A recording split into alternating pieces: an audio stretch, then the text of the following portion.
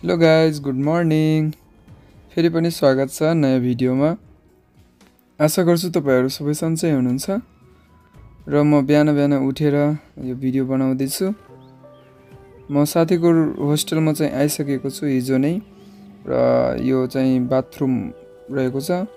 यसमा चाहिँ दुईवटा नुहाउने ठाउँ भाँडाहरू माझ्ने र टोइलेट चाहिँ एट्याच छैन अर्को साइडतिर छ। र म साथीको रुममा जाँदैछु। यहाँ साथीहरू टन्नै सुतिराखेको छन् र एकजना चाहिँ ड्युटीको तयारीमा जाँदै हुनुहुन्छ। म पेस्ट लिन गएको थिएँ पेस्ट पनि लिइसक्यो ब्रस गर्दैछु। म यति पाँच बजी बिहान बिहान किन उठेको? किनकि म जुन रुममा सुतेको थिएँ त्यो रुमको दाइको छ बजी ड्युटी थियो र उहाँले लकहरू लाउनु थियो रुममा। सो त्यसले गर्दा म त्यहाँबाट निस्किनु पऱ्यो रुमदेखि र निस्केपछि फ्रेस हौँ न भनेर निस्केको र लास्टै भोक लाग्यो क्या अनि त्यसले गर्दा हिजो मैले जुन समोसा प्याक गरेको थिएँ त्यो फ्रिजमा राखिदिएको थिएँ। र म समोसा अब तातो गर्नेछु र खानेछु। सो मैले त समोसालाई लिएर अब किचनतिर जाँदैछु। किचन पनि ठिक्कको थियो यो होस्टेलको। अब हेर्न सक्नुहुन्छ किचन। नर्मलै छ। दुइटा चाहिँ ग्यास रहेको छ। ओभनमा म तताएर खानेछु।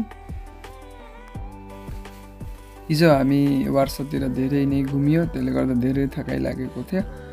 सो अब भोक पनि बिहान बिहान लायो र राति राम्रोसँग सुत्न पनि पाएन। अब यो खाएर म साथीको रुममा गएर एकछिन रेस्ट गर्छु किनकि मेरो ट्रेन चाहिँ तिन बजे रहेको छ। केलीसम्म जानलाई अर्को त्यहाँ साथी मलाई कुर्दैछ।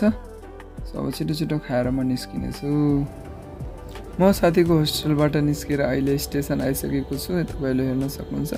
यो चाहिँ म स्टेसनमा अब ट्रेनबाट म यहाँदेखि केलिस जानेछु जुन मलाई साठी सत्तर जुलती जति लाग्यो जानलाई त्यही तिन चार घन्टाको बाटो रहेको छ ट्रेनमा। र अब यहाँदेखि म डाइरेक्ट जानेछु केलिसम्म। मैले डाइरेक्टको टिकट काटेको छु ट्रान्जिटमा हल्का जे हुन्छ भनेर। र यो ट्रेन चाहिँ मेरो आइसकेको छ। सो म अब यसमा जानेछु। र त्यहाँबाट केलिसदेखि हामी क्रकको हुँदै बेर्लिन जानेछौँ र हाम्रो क्राकोमा पनि एउटा बस चेन्ज रहेको छ। सो अब यस्तै छ। ट्रेनमा पनि बसिसकेको छु हेर्न सक्नुहुन्छ। यो बस ट्रेनमा चाहिँ साथीहरू लास्टै थकाइ लाग्दो रहेछ क्या एकदमै थकाइ लागेर अनि म चाहिँ यहाँ केलिस पुगिसकेको छु म साथीले पनि भेटिसकेँ। र यहाँदेखि हाम्रो बस लागेको छ। सो अब यहाँ हामी बस कुरेर अनि बसमा चढेर जानेछौँ क्राकोसम्म। क्राकोबाट फेरि एउटा डाइरेक्टको बस रहेको छ त्यहाँदेखि हामी फेरि जर्मन डाइरेक्ट बसमा जानेछौँ। सो साथीले मैले भने हाई हेलो अनि साथीले भने हाई हेलो रिप्लाई दियो। तपाईँले हेर्न सक्नुहुन्छ राम्रो ठाउँ थियो यो बस पार्कको।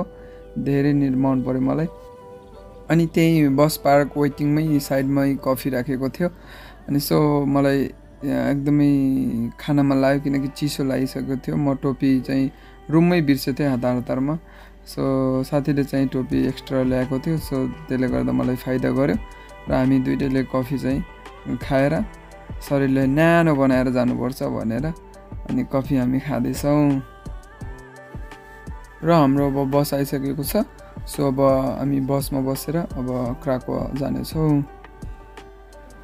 हेर्न सक्नुहुन्छ हामी क्रकको चाहिँ पुगिसकेको छौँ र एकदमै ठुलो बस स्टेसन रहेको छ यहाँ र तपाईँको रेलवे स्टेसन पनि एकदमै ठुलो क्या तपाईँहरू नेपालबाट पनि डाइरेक्ट यहाँ क्राको पनि आउन सक्नुहुन्छ जस्तै अब डाइरेक्ट त के भनौँ ट्रान्जिट पारेर अब नेपालदेखि जस्तै दुबई कतारबाट फेरि क्राको झर्न पनि सक्नुहुन्छ तपाईँको कम्पनी नजिक छ भने वार्सै जानुपर्छ भन्ने छैन। अनि यो क्राकोको एकदमै राम्रो भ्यू तपाईँहरू हेर्न सक्नुहुन्छ। अब हाम्रो क्राकोदेखि बेर्लिनको जर्नी हुँदैछ। यो हामी बसमा चढिसकेको छौँ हेर्न सक्नुहुन्छ। र यो चाहिँ डाइरेक्ट रहेको छ ट्रे बस। ट्रेनमा चाहिँ हामी गएनौँ। ट्रान्जिट ट्रान्जिट भएको कारणले बसमा डाइरेक्ट गयो र सजिलो पनि भयो। तर एकदमै थकाइ लाग्ने क्या यो बस ट्रेनहरूमा। सो तपाईँ जानुहुन्छ भने फ्लाइटमै म त सजेस्ट गर्छु जानलाई। हल्का सय डेढ सय खर्च एक्स्ट्रा हुन्छ बट राम्रो हुन्छ। अब हेर्नु न हामी राति राति अब जो रमाइलो त रमाइलो भयो। अब साथीलाई एक्लै जान ज्याउ ल्याएर अब हेल्प पनि भयो हामीसँगै गफ गर्दै गयो सुत्दै गयो। सिटहरू चाहिँ खाली हुँदाखेरि हामी एका एउटा एउटा सिटमा गएर सुतेर पनि गयो चार पाँच घन्टा सुतेरै गयो। टोटल टाइम चाहिँ आठ नौ घन्टा लाग्दो रहेछ। अब यो पोल्यान्डदेखि जर्मन जानलाई किनकि त्यो जर्मनको बेर्लिनमा हामी जाँदैछौँ साथीको पासपोर्ट रिन्यू गर्नलाई। र यो चाहिँ बसमै चाहिँ रहेको छ यो। टोइलेट तपाईँले हेर्न सक्नुहुन्छ। राति राति नै हिँडाइ भइरहेको छ हाम्रो र हामी आधी बाटोमा चाहिँ पुगिसकेको छौँ जर्मनको। सो यस्तै यात्रा हुँदैछ। चाहिँ थकाइ चाहिँ डह्रो लाग्दो रहेछ। त्यही भन्छु म तपाईँलाई अघि नै भने नि फ्लाइटबाटै जानु। र त्यही सजेस्ट गर्छु। साइड हेर्छ खर्च एक्स्ट्रा हुन्छ सजिलो हुन्छ। यस्तो बिजोग। बसमा अब म नेपालदेखि दिल्ली जाँदाखेरि पनि बसमा लास्ट बोर के ट्रेनमा बरु सजिलो थियो जानलाई।